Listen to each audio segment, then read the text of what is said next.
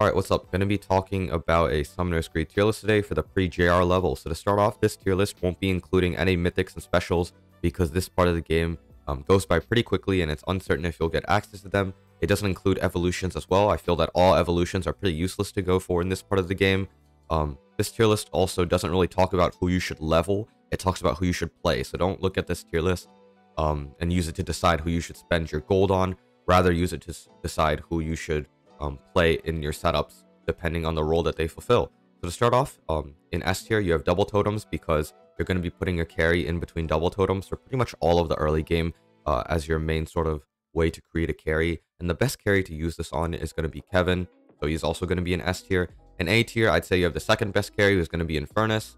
Um, doesn't do as much damage as Kevin. He's not as gold effective, but he has solid AoE, which makes up for that. Um, and of course, you also have four solid uh, stunners right here. Frostbite and Ash both can stun for 4 seconds with decent AoE. Archangels have very solid AoE, um, and they also stun for very solid durations, although I don't really know the specifics. Next up in B tier, you have Teddy and Chili. These guys are both solid 3 second stunners. Teddy's a little bit better because he has more consistent AoE, um, but Chili probably stuns for a little bit more longer just because of the freeze animation. You have Felina as well.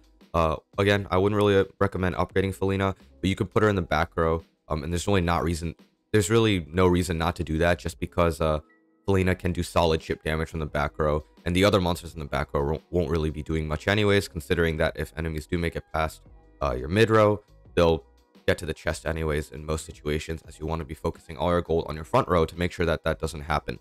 Uh, next up, you got Stacky, solid baseline carry. Um, he's just the carry you start out with if you don't have access to better stuff like Infernus or Kevin. Um, Puffy is in a sort of similar situation as that as Stacky. Um, maybe a little bit better, I'd say, because Puffy does have better AoE, um, but it's not that significant of a difference where Puffy would end up on the same tier as Infernus. He's just a little bit more better than uh, Stacky in this tier here as a main DPS carry.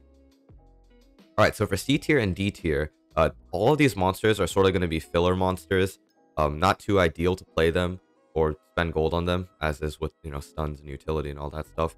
But in C tier, you just have solid uh, CC monsters that can provide stuns or slows um, these guys are all inferior to the better stunners in the higher tiers, but they provide solid stuns or solid slows, uh, which can be used to delay monsters, delay enemies from being able to get past your defenses, um, which means that they do provide some sort of decent use, um, even though some of them are not the best at it, right?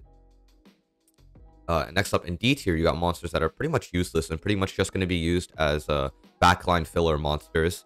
Um, all of these monsters either provide useless CC like an armor break, such as Grimy and Spiky, um, or they have very uh, poor interactions with the low early game health, something like Devin, um, you know, 50% or even like 80%, even if you do somehow manage to level him a lot, 80% of the uh, of boss's HP in the pre-JR levels, you can just one-shot them anyways um, by upgrading a carry because the HP values are so low um, and of course, you also just have bad DPS options um, that are outclassed by Stacky, and the monster's better than Stacky. Stuff like Jack, stuff like Mr. Flamey, stuff like Slimy, stuff like Mocha. All these monsters are going to be just really poor options to use in general, and they're pretty much just going to be utilized in the back row. And of course, Archangel Malik does pretty poor damage overall, and he requires a lot of gold to upgrade.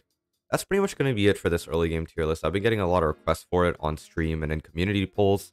Um, again, C tier, monsters are uh, like filler stun monsters. D tier monsters are filler back row monsters. Uh, everything B tier and above uh, could be pretty solid to play in your setups. You just have to understand their uses, right?